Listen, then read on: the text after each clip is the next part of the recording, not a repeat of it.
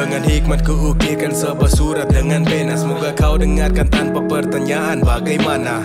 Ini soal rasa, bukan hal biasa. Ungkap lewat frasa, amin dalam masa. Kutitipkan pada yang maha kuasa.